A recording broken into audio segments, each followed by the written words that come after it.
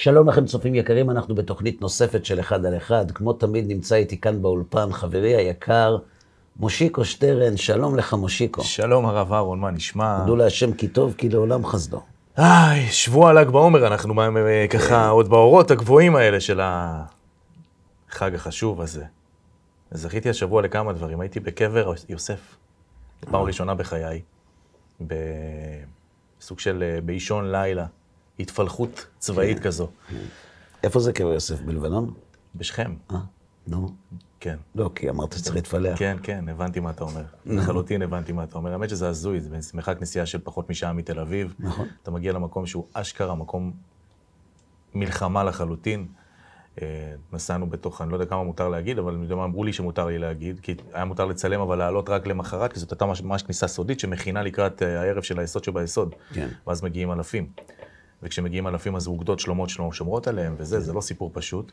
אבל הפעם נכנסנו רק עם, אה, רק עם עשרה פנתרים, והמון חיילים, וכל מיני רחפנים מלמעלה, ו- ו- וצלפים מכל כיוון, העיקר לשמור על הדבר הזה. והיה להם זמן קצוב ומדוד כדי להכין את, ה- את המקום, זה אומר לצבוע אותו מחדש, להחליף שם את השנדליר, לעשות את כל העבודת, הח- זה פשוט עבודת חסד מדהימה, אנשים שמתנדבים שם במהירות שיא. אתה פשוט פתאום מבין איך בנו את בית המקדש. זה כזה, אתה יודע, מקדחות ומברגות וצבעים שמגיעים עם כל מיני אה, מכונות מיוחדות, הכל מהיר, הכל טיק טק, הכל... ולפנות שם את כל הרסיסים הנוראים האלה של, של הבקבוקי תבערה, ונורא ואיום מה שקורה שם מבחינת ההתייחסות לציון הזה, אבל באמת יש הרבה צדיקים שעושים שם עבודת אה, קודש. זה היה אחד הלילות המרגשים בחיי. יוסף בכל זאת, יש לי חיבור אה, עצום איתו. אז אה, כן, כן, רגע מכונן, ותודה לאל, זכינו, בפעם הראשונה. אז על מה נדבר היום? אז היום נמשיך, דרך אולי בדרך הפרקי אבות ככה להגיע לדבר הבא. אני זוכר שבפעם הקודמת אמרת לי שפרקי אבות זה בדיוק אולי התבלין החשוב הזה שהיה חסר להם שם, בכל מיני אה, עניינים פנימיים שעברנו כעם, אה, כאנשים מאמינים. אמרת שהרי זה לא הלכות, כן. זה, זה, זו דרך חיים בסופו כן. של דבר. ואני רוצה לשאול אותך, אפשר להגיע דרך פרקי אבות לאושר? כי אנחנו כולנו נרקומנים של אושר. בדיוק כתב על זה חבר טוב שלי עכשיו שיר. קודם כל כן, כולנו רוצים להיות מאושרים, וכיוון שכולנו רוצים להיות מאושרים, אנחנו לפעמים מתנהגים כמו מה שאמרת. מה זה נרקומן? מכור. נכון, אבל מה המאפיין המרכזי של נרקומן? להשיג את זה כאן ועכשיו. ההווה. הרבה פעמים קורה לנו, כולנו רוצים להיות מאושרים. אני יוצא מנקודת הנחה שכולנו חכמים, אלא אם כן נוכח אחרת. ולכן פלא בעיניי, איך אנשים חכמים שרוצים להיות מאושרים, מסוגלים לצעוד בדרך שאמורה להביא אותם אל האושר, כשהשכל שלהם מבין שזה לא יקרה. מה זאת אומרת? אני אסביר. כן. יש אנשים שלא טוב להם, לא טוב להם בחיים. הוא אומר, אני אעשה ככה, אני אהיה מאושר. עכשיו, אם מישהו אחר היה בא להתייעץ איתו, עם אותו סיפור, והיה אומר לו מה הוא הולך לעשות, הוא היה יודע להסביר לו בק"ן טעמים למה מה שהוא הולך לעשות לא נכון. אז איך הוא הולך? איך הוא עושה את זה? איך הוא נמשך אחרי זה? נרקומן. כלומר, הצורך באושר הוא כל כך גדול, שגורם לנו לא להקשיב לשכל, ולפעמים אנחנו מזיקים לעצמנו מתוך רצון להיות מאושרים, למרות שלאחרים היינו אומרים, חס ושלום לא לעשות אפילו. למרות שאנחנו יודעים את התוצאה של מה שאנחנו עושים עכשיו. גם לפעמים. או, או יודעים בשכל, אבל ב- ב- ב- ברגש חיים את ההווה ומעלימים אותו. שזה בעצם ממש כמו, כמו נרקומן לסמים או להימורים או לכל דבר אחר. הוא יודע מה הולך לקרות בשלב הבא, והוא ימשיך לעשות את זה. כן. עכשיו, זה נכון שכולנו רוצים להיות מאושרים. על זה אין ויכוח, דיברנו על זה הרבה פעמים, בעל הסולם כותב את זה. זה, זה, זה כותב הנבראים כולם, כולנו רוצים להיות מאושרים. הוויכוח בין בני האדם הוא על הדרך, על איך נהיים מאושרים. איך, איך, אני, איך אני אהיה מאושר? איך יהיה לי טוב? על זה יש ויכוח בין אנשים. יש אחד אומר, יהיה לי טוב אם אני אתחתן, יש אחד אומר, יהיה לי טוב אם אני אתגרש, יש אחד אומר, יהיה לי טוב אם יהיו לי הרבה ילדים, יש אחד אומר, יהיה לי טוב אם לא יהיה לי בכלל ילדים. אבל כולם רוצים להיות מאושרים. נכון. וכאן עולה שאלה גדולה. אם כל בני האדם רוצים להיות מאושרים, ועברו אי אלו אלפי שנים על העולם הזה. ימינה כן. על העולם שלנו, איך זה שעד היום אין נוסחה, ולו הבסיסית ביותר, שמסבירה לאדם איך להיות מאושר? אתה הולך לשאול אנשים איך להיות מאושרים, כמספר האנשים שתשאל מספר התשובות. נכון. כמו שאמרנו קודם, אתה רוצה להיות מאושר, צריך כסף. לא, צריך להיות מאושר, כסף זה לא חשוב. בריאות זה חשוב, זוגיות זה חשוב, ילדים יעשו אותך מאושר. זה לא, מה פתאום, חס ושלום, זה יעשה אותך מאושר, קריירה יעשה אותך מאושר. אין נוסחה. איך יכול להיות? הרי עברו פה אנשים חכמים מאוד. איך יכול להיות? תינוק נולד, היום, תינוק נולד. תאר לעצמך שהיה נולד עם שכל. נו, לא טוב בכלל. למה? כי בקורס הכנה ללידה לא מכינים את האימא לעתיד להתמודד עם ילד שנולד עם שכל. הוא ישאל אותה שאלה, שאלות כן. שהיא לא תדע איך לענות לו עליהן. זה מגיע מתישהו, אבל. ילד נולד עם שכל, בום. איך שהוא נולד, מנקה את עצמו, מתלבש, שותה מהתה של אימא. אמא, למה אני פה? מלטף לה את היד. שאלה ראשונה. כן, שאלה ראשונה שמי שבא לעולם עם שכל שואל זה איפה אני. כן. שאלה שנייה, זה מה עושים כאן. בסדר, אתה במקום טוב. בבני ברק, יש לחמים של ברמן, זאת אומרת, מקום טוב. מה עושים כאן? נהנים. ומה עושים בתל אביב נהנים? ובירושלים? נהנים? אז מה ההבדל בין ירושלים, בני ברק ותל אביב? אמא, איך נהנים? ספרי לי, אני עכשיו הגעתי, יש לך ניסיון כאן. את לא סתם נהיית אימא, את בטח הלכת ללמוד חינוך וזה, כדי לקבל אותי, לעטוף אותי בצמר גפן. פקולטה להנאה. בדיוק, ספרי לי, אמא, איך נהנים מהחיים? אז אם האמא לא תהיה בשוק, וגם אם כן, אז יש את המיילדת שתדע להסביר בחופש של הניסיון עם ילדים שנולדים עם שכל, אז היא תגיד לו, שמע, זה לא שאנשים טיפשים. זה שעד היום אין נוסחה מסודרת לאושר, זה לא כי אנשים פה לא רציניים, זה כי אין נוסחה. כי זה אינדיבידואלי. יש הרבה שרוצים לספר לנו איך להיות מאושרים. כן, אבל לא יודע אם הם מאושרים. כן. כן, זו עוד שאלה. יש הרבה אנשים שמדברים על אושר, שרים על אושר. אתה יודע כמה זמרים שרים על אהבה? כולם. למה? כן? כי שרים על מה שאין. על מה שיש לא שרים. מי שהוא אוהב, מי שיש לו אהבה אוהב, הוא לא שר. נכון, הוא אוהב. נכון. מי שר על אהבה? מי שאין לו. זה אינדיבידואלי. זה פתרון מדהים. כאילו, אם זה, אם, אם זה אישי, אז כל אחד יש לו ייחודי. שלו, כן. זה, אי אפשר ללמד אחד את השני. זה נכון שהנאה זה אינדיבידואלי? אני לאורך החיים והשנים התחלתי להפנים שאולי כן.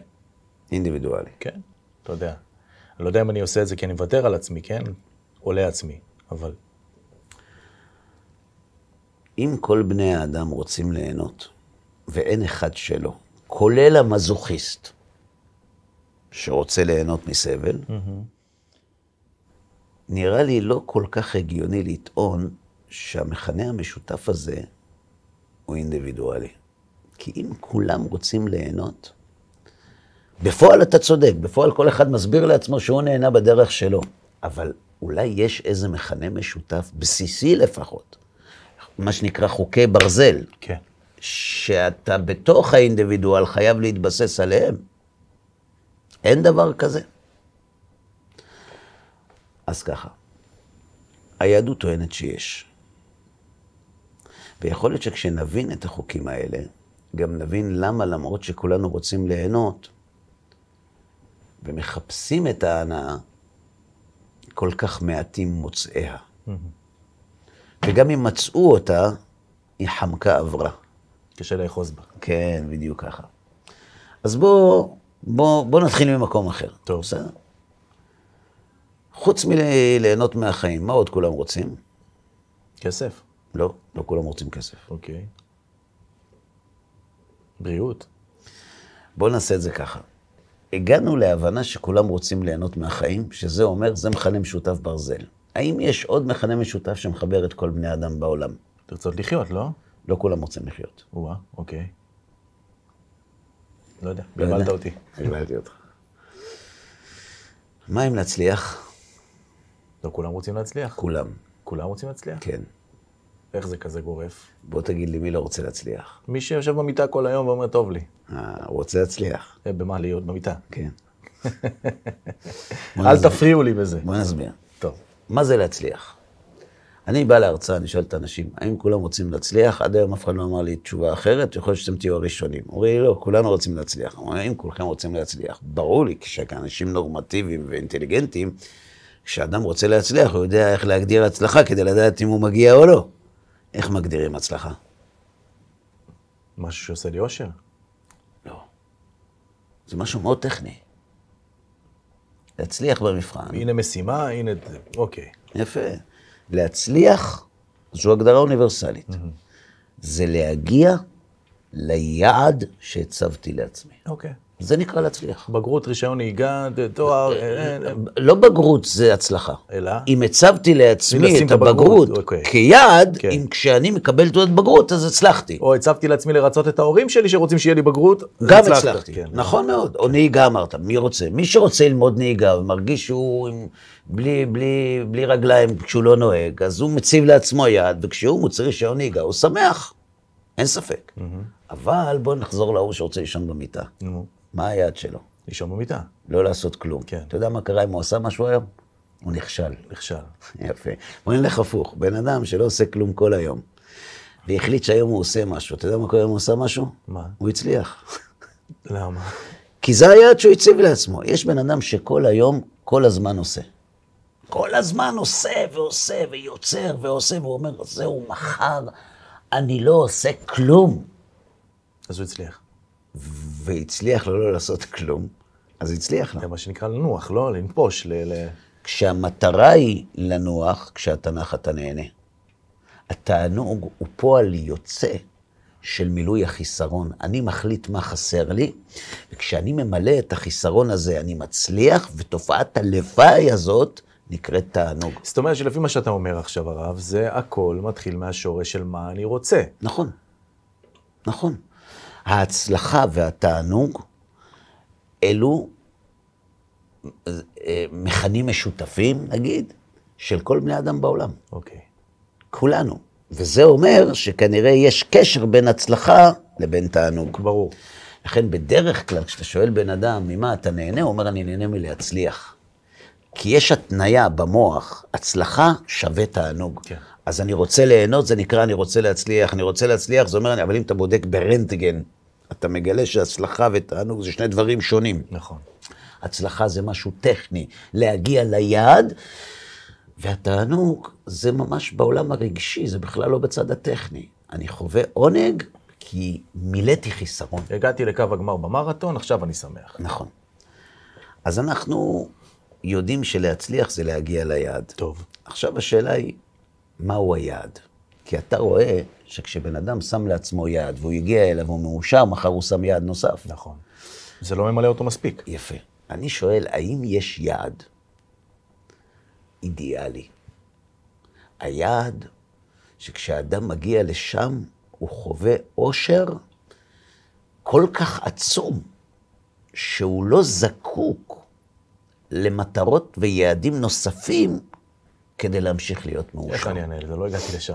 את זה אני מחפש. אוקיי. זאת אומרת, בתור נהנתן, אני לא מחפש עוד מאותו דבר. אני מחפש את הנוסחה של השלמות. לא של היום נעבור דירה, מחר נ... אני, אה, אה, תקצר תהליכים, אני רוצה להגיע ליעד. אתה לא רוצה החלפת צורה. כן. אתה רוצה להגיע למשהו שהוא לא מהצורה שאתה מכיר. כן, אז הת- התשובה היא מאוד פשוטה, להגיד אותה. אם תענוג זה פועל יוצא של מילוי חיסרון, אז המצב האופטימלי זה האדם השלם. שאין לו חסרונות. מי זה? מה זה? לא יודע.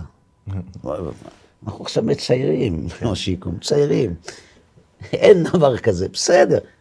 אבל האדם השלם, תשאל כל ילד ברחוב, לא משנה, גזע, לאום, דת, מעמד או מין, האם אדם שלם הוא אדם מאושר? התשובה תהיה כן. אתה יודע למה?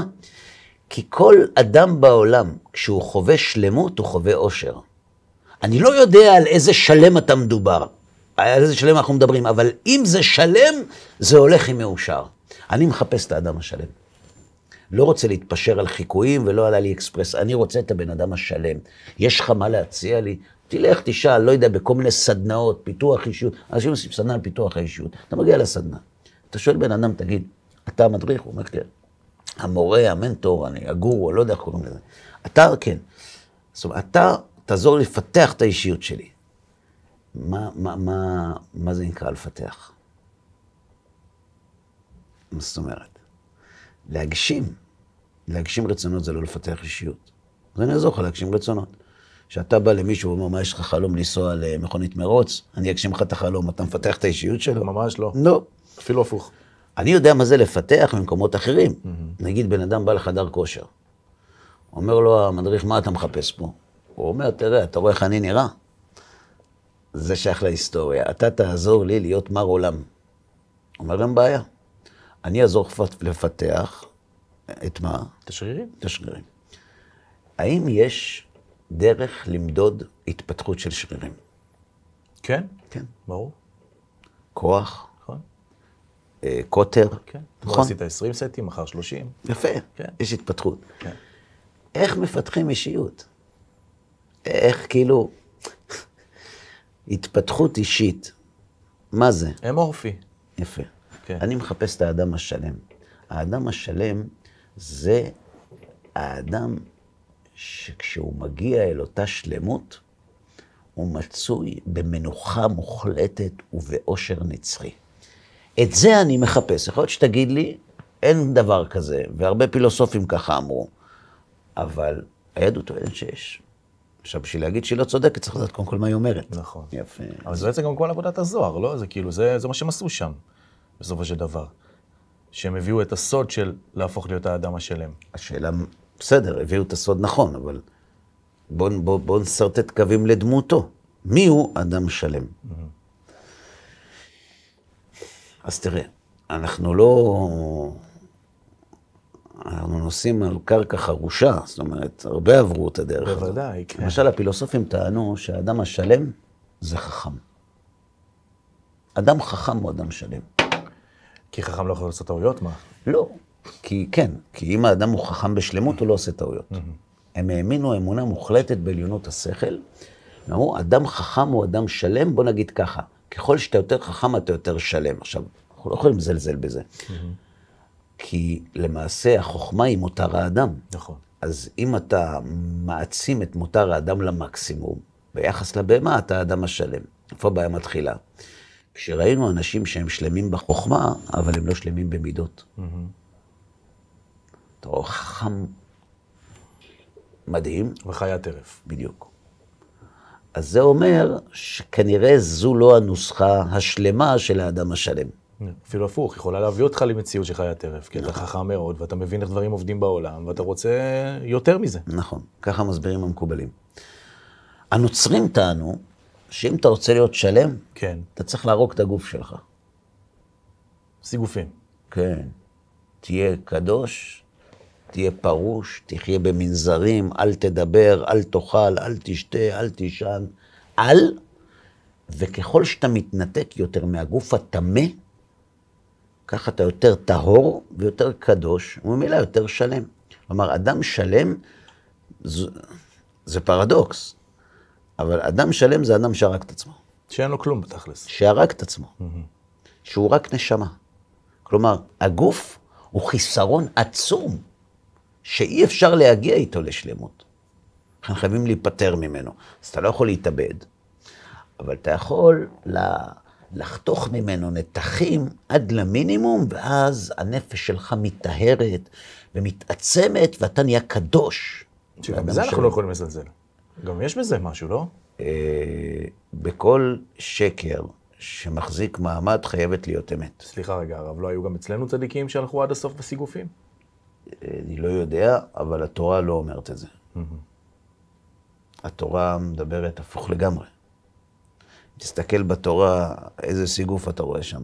לא, בתורה לא, אבל... התורה אני מכיר- מלאה, התורה מלאה בקרסים שמחברים את התורה לעולם הזה בכל זווית אפשרית. חד משמעי, נכון. שבן אדם אומר, שמע, התורה נכנסת לי לכל חדר בבית, מה זה אומר? היא לא אומרת לך, תגור במדבר. היא אומרת, שיהיה לך כן. בית, ולתוך הבית תכניס את מה שצריך. נכון, אני לא, אני מדבר אבל יותר על סיפורי צדיקים ששמעתי, לא גלגולי יודע. שלג, עניינים, כל לא מיני, אתה יודע. אני, לא יודע. קודם כל, גם גלגולי שלג זה לא אנשים שהזהירו את עצמם, הם מתחתנים? כן, מתחתנים. היהודים מתחתנים? כן. מתחתנים. מביאים ילדים לעולם? נכון. מביאים ילדים לעולם. זאת אומרת, הם לא מתנתקים מהעולם הזה. וגם מי שלא התחתן, אנחנו רואים שזה החטא. זה חטא. אנחנו לא מתנתקים, להפך. הנוצרים, בשביל להיות קדושים, בורחים מהעולם הזה.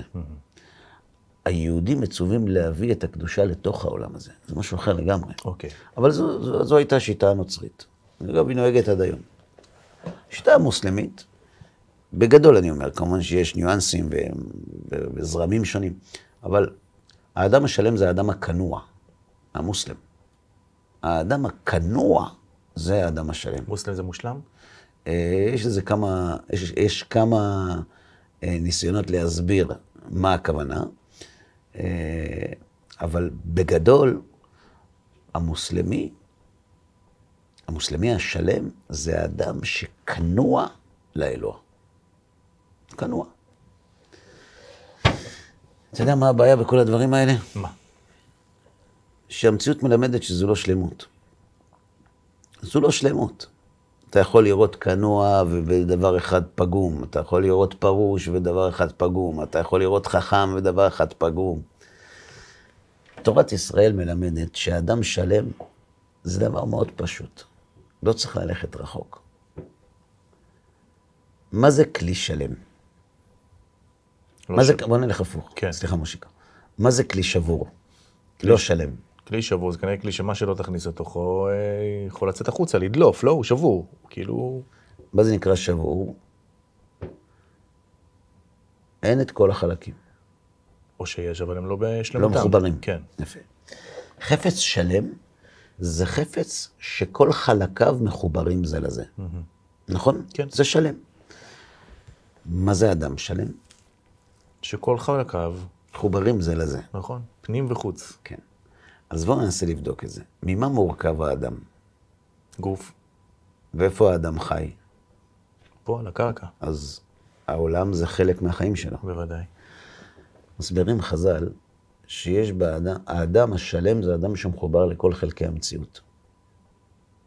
אם יש ברסיבר שלך, במגבר שלך, חורים, אה, שאתה לא משתמש בהם, אז המגבר הזה לא מחובר לכל חלקיו. נכון. אדם ואלוהים, יש בורא, יש? אז אם אתה מחובר אליו, אתה פה יש. שיעור. כן, יש בני אדם, כן, יפה, ויש אני. כן. אומרים חז"ל, אדם שלם, זה נשמע ארטילאי, אבל אנחנו תכף ניגע, אדם שלם זה אדם שמחובר לכל חלקי המציאות, לעצמו, לסביבה. לסביבה. ולקדוש ברוך הוא. זה מופיע במאמר חז"ל, מסכת בבא קמא, דף ל'. שם רבי יהודה אומר, הזכרנו את זה בפרק הקודם, איימן דמעבה למעבד חסידה.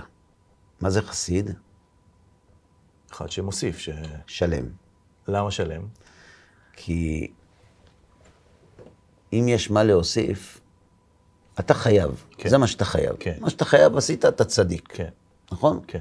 רמח"ל כותב במסילת ישרים, אחרי מידת הנקיות, מגיעה חסידות. מידת הפרישות. אה, אוקיי. שם הוא אומר ככה, עד כאן צדיק, מכאן חסיד. זאת אומרת, יש הבדל בין צדיק לחסיד. חסיד בעצם שואף לשלמות, ואז הוא מוסיף עליו דברים שגם לא חייבים. נכון, אוקיי. נכון. אז אדם שלם זה חסיד, נכון. ואם יש עוד דברים בעולם שעוד לא לקחת על עצמך, אז אתה עוד לא שלם? זה אתה הסיפור? עוד לא שלם.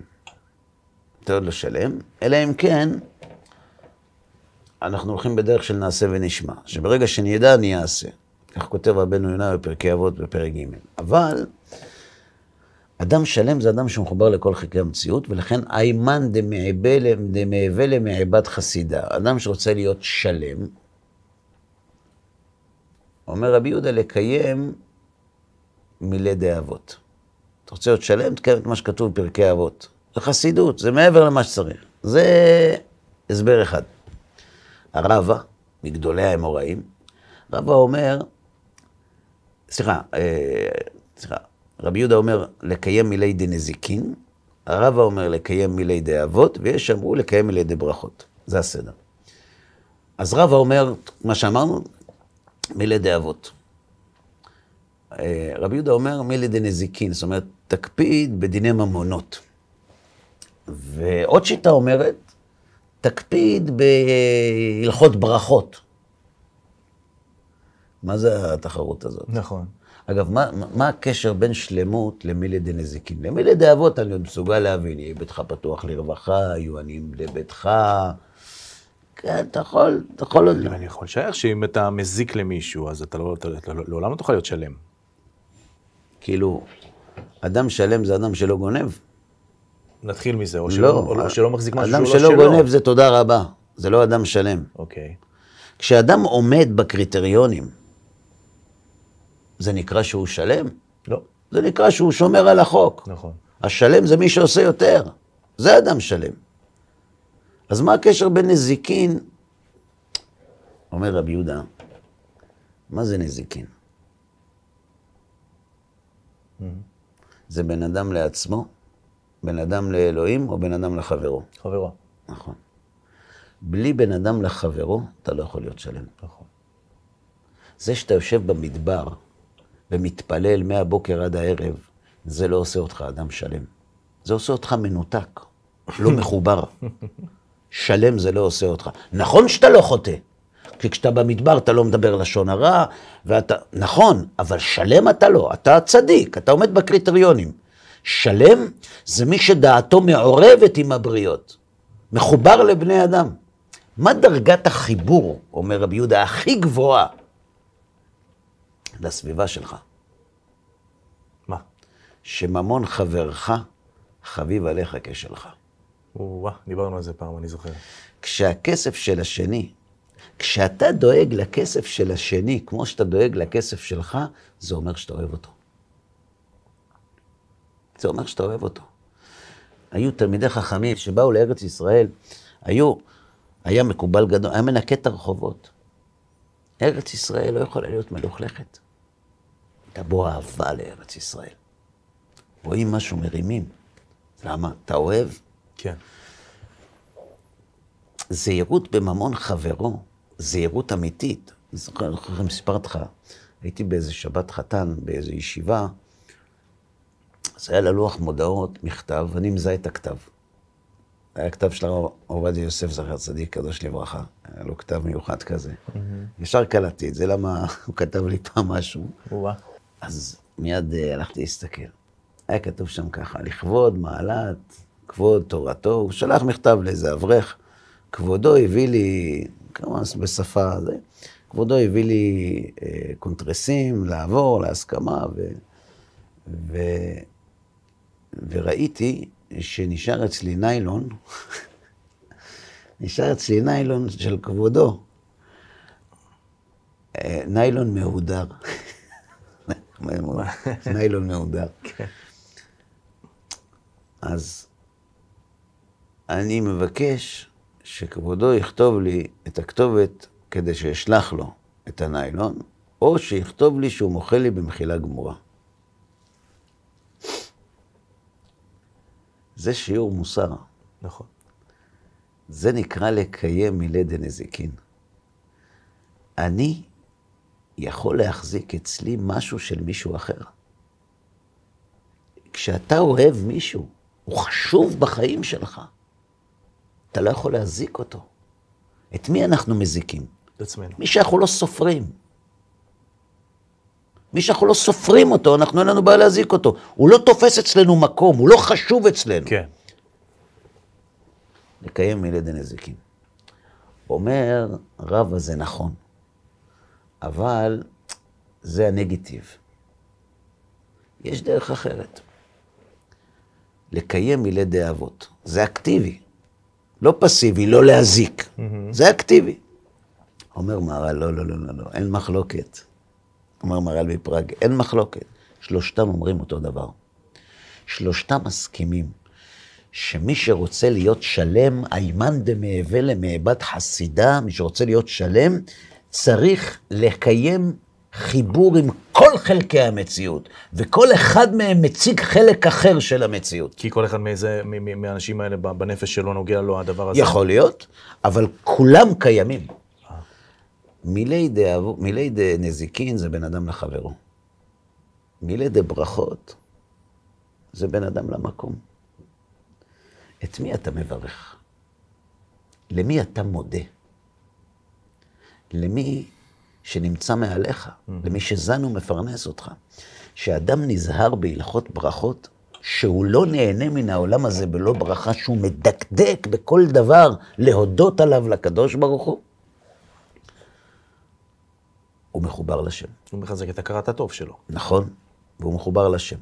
אז מילד הברכות זה להיות מחובר לשם. זה בין אדם למקום. וזה אפשר גם במדבר.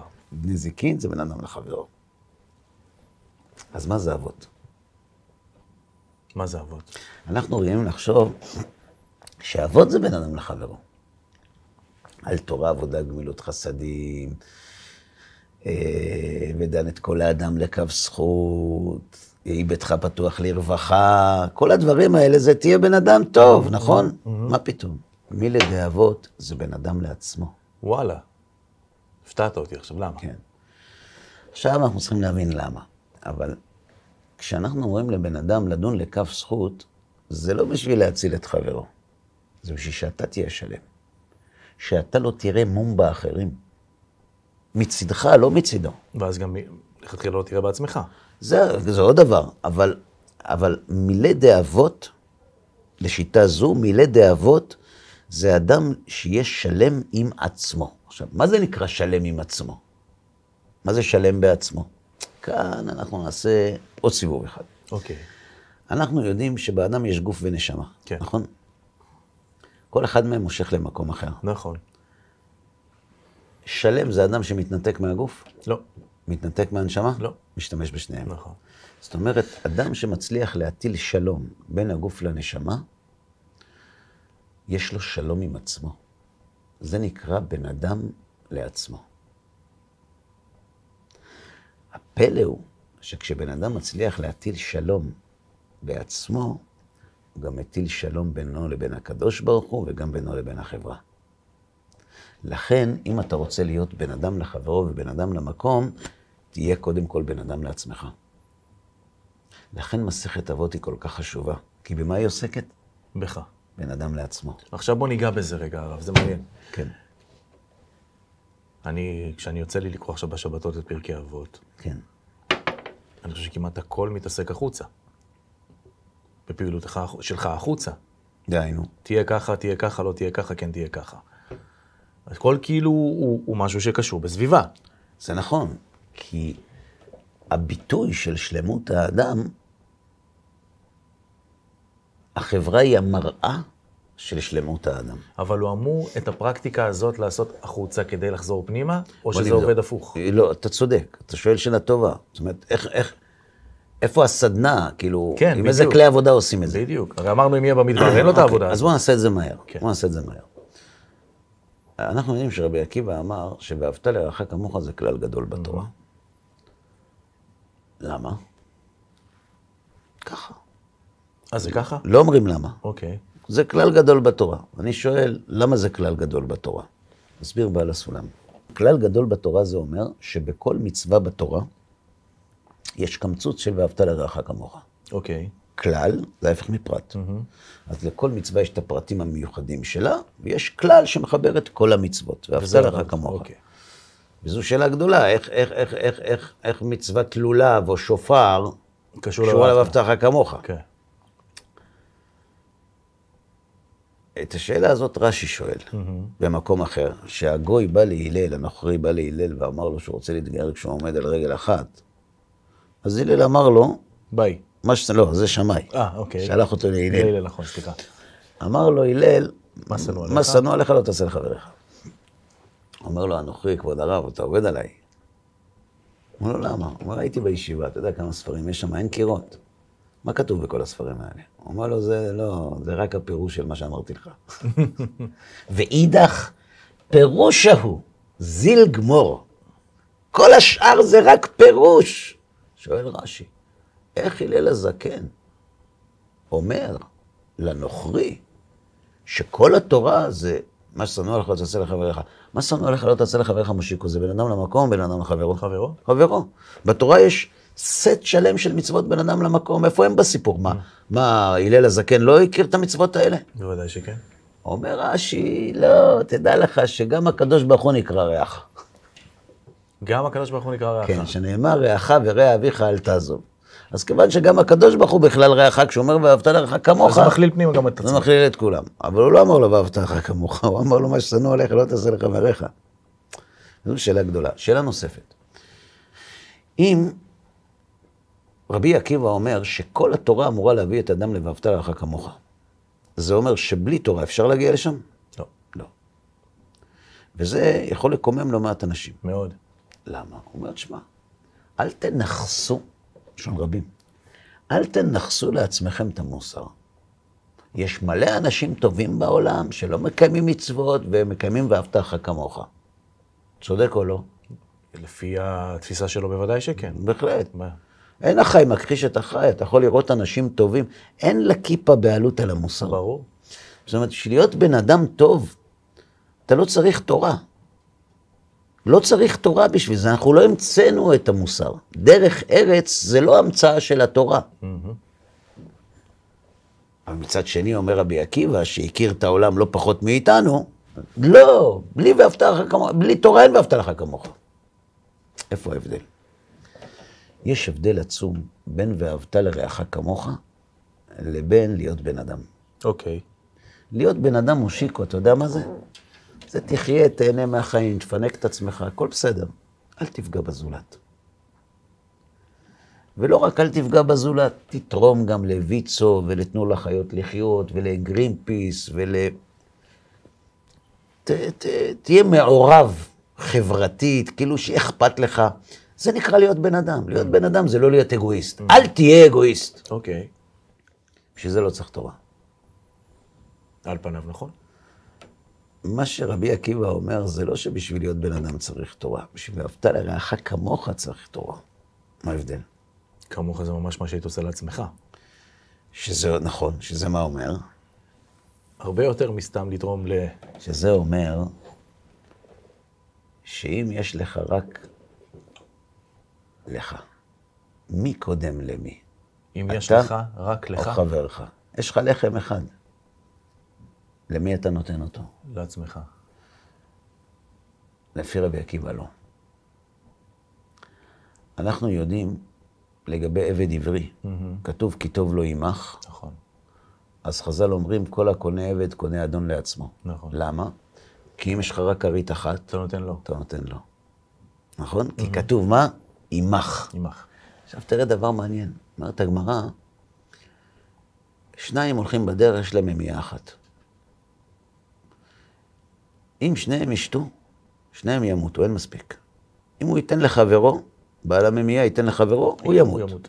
אם בעל הממייה ישתה, חברו ימות. מה יעשה? אמרו חז"ל בהתחלה, ישתו שניהם וימותו, ולא יראה אחד במיתתו של חברו. ככה אמרו.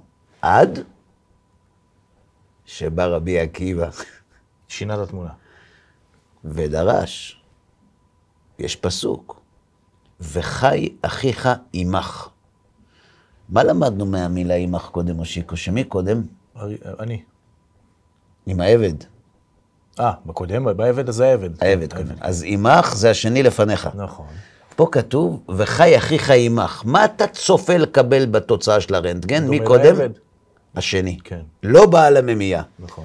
אומר רבי עקיבא, וחי אחיך עמך, שחייך קודמים. אני לא מבין. לפני כן לימדת אותי שעימך זה שהשני קודם.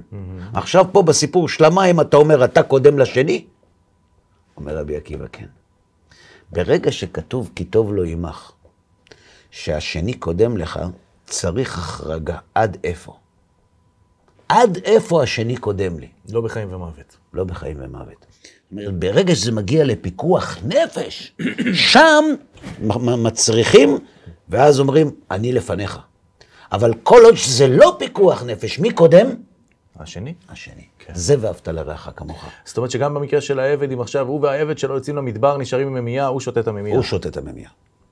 על אף של, הוא היה צריך לדאוג לו. זה חייך קודמים. כן, אבל עם כל מה שקשור להטבות תנאים, זה השני קודם. הבנתי. עכשיו אני רוצה לשאול אותך שאלה. טוב, מי אמר שזה ואהבתך כמוך בהזדמנות אחרת? אבל אני שואל אותך, האם אתה רואה כאן הבדל בין ואהבת לרעך כמוך ללהיות בן אדם? כן, להיות בן אדם זה הרצון שלי לפני כולם. נכון, אבל אני נותן גם לאחרים מקום בעולם שלי. נכון. אהבת לרעך כמוך זה אתם לפניי. חוץ מדבר אחד. חוץ מחיים, אתם לפניי. עכשיו תסתכל, האם אתה מכיר מדינה בעולם שחינכה את בניה להציב את הרצון של השכן לפני הרצון שלי? לא, אין דבר כזה. היו קומוניסטים, נכון. היו פשיסטים, היו קפיטליסטים, סוציאליסטים. סוציאליסטים כן, אמרנו, אבל אף אחד לא התיימר לדרוש מאף אחד אחר, שים את הרצון של השני לפני. אתה יודע למה? אין מניע. כל המניע שהרצון שלך חשוב, זה כי הרצון שלי חשוב ואתה כמוני, אז אני צריך לכבד גם אותך. שיהיה לנו כיף ביחד. אני מכבד את רצונך מפני שאני מכבד את רצוני. רצוני קדוש. למה רצוני קדוש? כי הוא שלי. גם רצונך קדוש כי הוא שלך. לכן, אני לא אפגע ברצון שלך. וכשאני יכול ומתחשק לי, אני גם יעזור לרצון שלך. אבל אי אפשר שהרצון שלך יהיה יותר חשוב מהרצון שלי, כי כל קדושת רצונך יונקת מקדושת רצוני אני. מי שאין לו ערך לרצון שלו, בדרך כלל גם אין לו ערך לרצון של אחרים. וואה. תבדוק את זה. מי שמזלזל בחיים שלו, מזלזל גם בחיים של אחרים. הכל מגיע מתוכנו.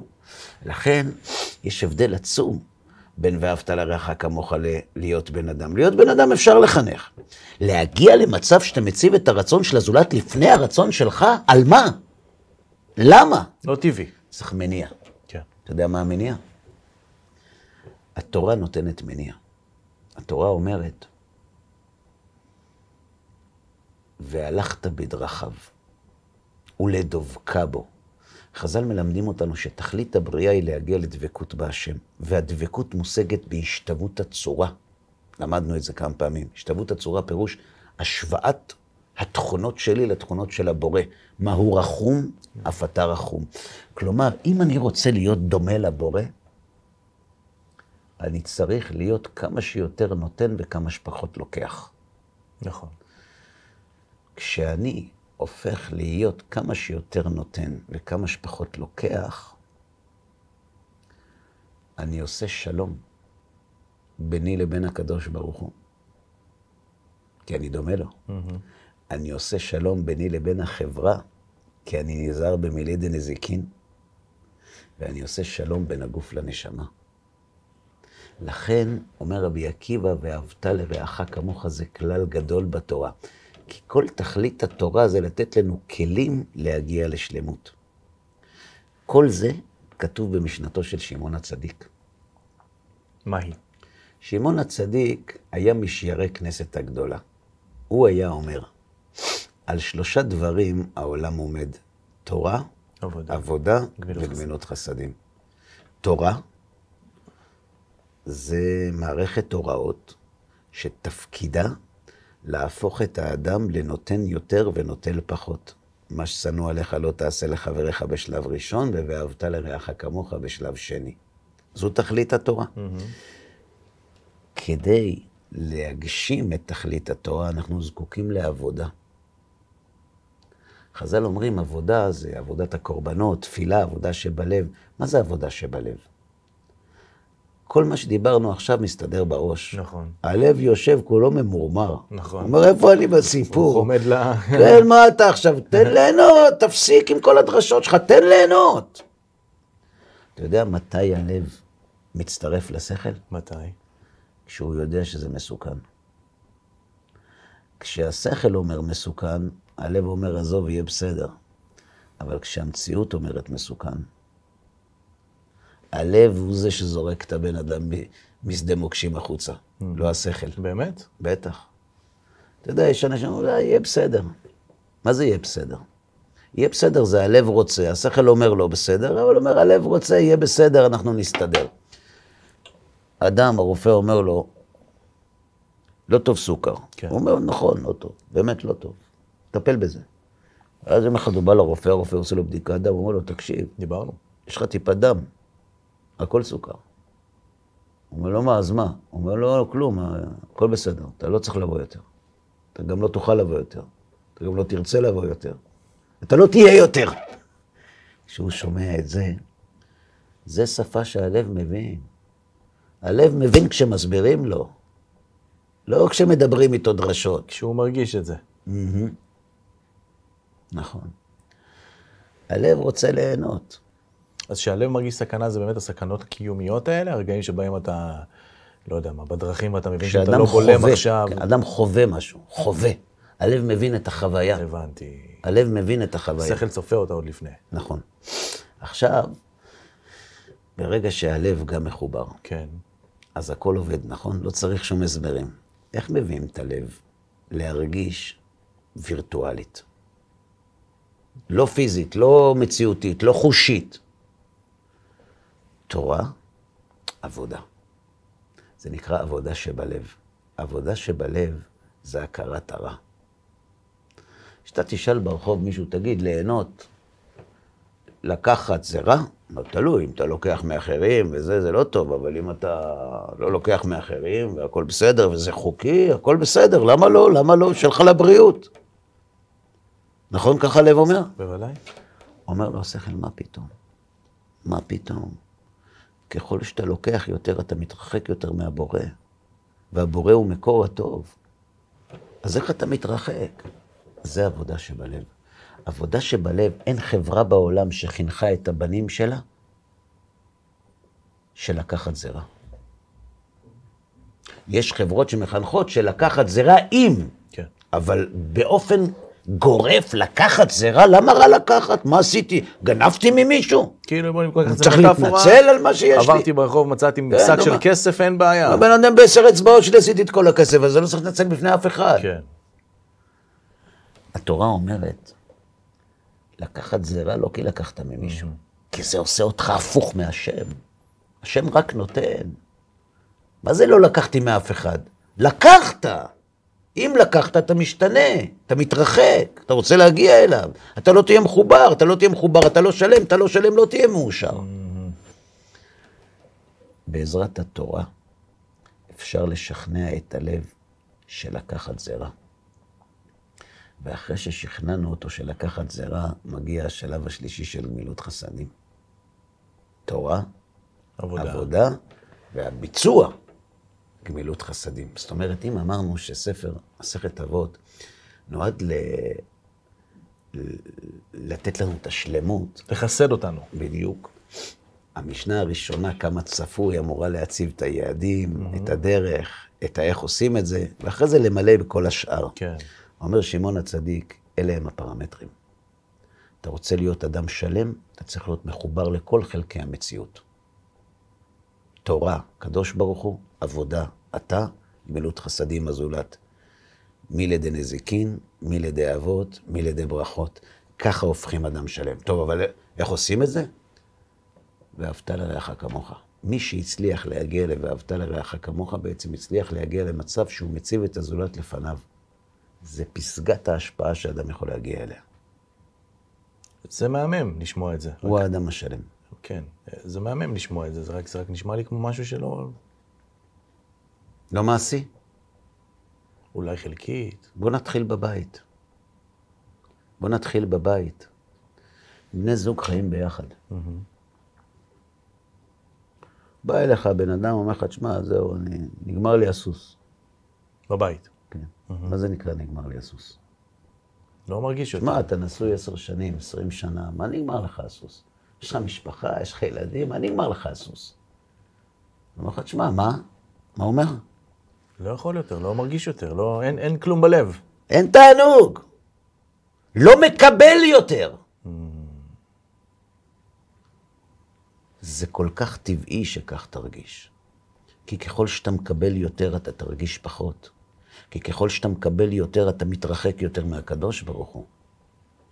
אז תרגיש יותר למטה, פחות סיפוק, יותר דיכאון, ממורמר, חנוק. ניסית פעם לאהוב את אשתך בלתת? לקחת פעם את אשתך בתור פרויקט של לתת, בתור פרויקט של ואהבת לרעך כמוך? בתור מאמנת שתעזור לך להגיע לקדוש ברוך הוא? זו, זו המטרה שלך בחיים? אם זו המטרה שלך בחיים, אין, אתה, אין מי שתאהב יותר בעולם יותר ממנה. זה להחליף קופסה בראש. זה לא קשה לעבוד, זה קשה להחליף קופסה. נכון, נכון. כי דיברנו על זה כבר בעבר בתוכניות הזוגיות וזה, שאתה מרגיש שאתה נותן ונותן ונותן ונותן, ומה אני מקבל? מה, מה יוצא לי מזה? זה הנתק בין הגוף לנשמה. הגוף רוצה לקחת, הנשמה רוצה לתת. אמרנו ששלמות זה כשאדם מחובר גם לעצמו. נכון. איך עושים שלום בין גוף לנשמה? שמסבירים לגוף למה לקחת יזיק ולא יביא תענוג, אבל לא זה בלבד. הרבי שלי עליו השלום אמר לי פעם, תענוג מחליפים בתענוג. אתה לא יכול לקחת מבן אדם תענוג ולא לתת לו תמורה. בוודאי, יהיה לו חלל ריק. נכון. כשאתה בא לגוף ואומר לו, תקשיב, בוא נתקרב לשם, לא נאכל, לא נשתה, הכל יהיה בסדר. וממה אני אהנה? ביום שהגוף יזכה להרגיש פעם אחת תענוג מהרגשת השם, לא יהיה מי שידחוף את האדם לעשות זאת שוב יותר מהגוף. לכן, בין תורה לגמילות חסדים, מרכז הכובד זה העבודה. Mm-hmm. זה עבודה שבלב. ואיך עובדים בלב? זו תורה שלמה, אבל זה אפשרי, זה מעשי. עבודה שבלב זה דבר מעשי, זה לא משהו אבסטרקטי, לא מופשט, זה משהו מאוד מעשי. איך לוקחים את הלב ומשכנעים אותו שהתענוג נמצא פה ולא במקום אחר. אבל אתה יודע, ישבתי פעם לדבר עם, עם כמה חברים על הדברים האלה. במיוחד אמרת זוגיות, אז זה מעניין להבין, כי אתה יודע, אתה בטח מכיר, גם קראתי גם כמה ספרים כאלה, של אתה לא מעיר הערות, ואתה נותן כל מה שאתה יכול לתת, ובוקר טוב אשתי, ולילה טוב אשתי, ופרחים בשישי, והצלחה משהו, ולהתקשר, וטלפונים, וסמסים, והודעות, ואתה רק מרעיף אהבה. אבל יש כאלה, לא אצלי ברוך השם, אבל יש כאלה שלא רואים כלום חזרה. או לפחות לא מרגישים כלום חזרה. מה אתה אומר להם? תמשיך לעבוד עבודה שבלב? שתי תשובות בדבר. אם בן אדם נותן ולא מקבל תמורה, משהו מקולקל במערכת. בנתינה שלו? במערכת, בקשר, mm-hmm. משהו מקולקל. ברוב המקרים אחראים לכך שני גורמים. או שאני נותן למקבל את מה שהוא לא מבקש, mm-hmm. או לא צריך, mm-hmm. או שאני נותן לו את מה שהוא צריך, אבל ממני הוא צריך דבר יותר גדול. למשל, בן אדם שיריף על אשתו כסף, וחיבוק, ומילה טובה, וכל הדברים הטובות, אבל היא לא יכולה לסמוך עליו. או. היא לא יכולה לסמוך עליו. היא, היא לא יכולה להישען עליו. אין לה ביטחון. כל מה שהוא ייתן לה... לא מעניין. זה, זה בדיוק. כשאתה נותן לילד, או בוא נראה, אדם, מגיע אדם רעב, אתה נותן לו כסף, אתה נותן לו מכונית, אתה נותן לו מיטה, אתה נותן לו הכל. אתה רואה שהוא ממורמר, אז אתה אומר, איזה כפוי טובה. הבחור רעב, הוא לא צריך את זה עכשיו. הוא צריך, אבל עכשיו הוא צריך לאכול. נכון. אם אדם מעניק לאשתו ולא מקבל תמורה, כנראה שאת מה שדחוף לה לקבל, הוא לא נותן לה. ואיך הוא מזהה את זה? זו שאלה אחרת. מה זה? זה המשך רגע, עבודה שבלב רגע, אינסופי. שנייה, זו שאלה אחרת. אוקיי. זו שאלה אחרת. זה דבר ראשון. כן. דבר שני, אם אדם מעניק ולא מקבל תמורה, שישאל את עצמו, איך הוא נראה בעיני אשתו? האם אשתי מעריכה אותי, מכבדת אותי, או לא? זה לא שחור לבן, אבל ככל שהיא תכבד אותו יותר, הסיכוי שהיא לא תגיב לנתינה שלו יקטן. נכון, ברור. למה? כי כשאתה מקבל מאפס, הוא נהיה שני אפסים. הוא אפס. האפס הזה, אני בזה לו. מי שבזים לו, אי אפשר לאהוב אותו. עכשיו, יכול להיות שהיא לא בסדר, אבל ברוב המקרים, אישה שבזה לבעלה, הוא חתום על זה. הוא לו- עשה עבודה גדולה כן, בשביל כן, להגיע כן, לשם. יש לו סיבות טובות. כן, כן. למשל, יש בן אדם מתפרץ, משתולל, איך הילדים שלו מסתכלים עליו? בדיוק ככה. הם יכולים לכבד אבא כזה? קשה מאוד. זה בעל חיים, זה לא אבא. נכון. אנחנו תורמים המון לחוסר הכבוד של החברה כלפינו. אישה שמקבלת מבעלה את החשוב שהיא זקוקה לו, והיא מכבדת אותו, אי אפשר, זה חוק. מתמטיקה תרשום זה מוקלט, זה חוק. אי אפשר שהיא לא תחזיר לו. אז גם העבודה הזאת שבלב היא בידיים שלנו. בסדר? הכנסתי לארגז. יופי. אז תודה רבה לך, מושיקו היקר. תודה רבה גם לכם, צופים יקרים, שהשתתפתם איתנו בעוד תוכנית של אחד על אחד. אנחנו מאוד מקווים שהדברים יהיו לתועלת, ובעזרת השם נשמח להיפגש איתכם כאן שוב בתוכניות הבאות. כל טוב לכם.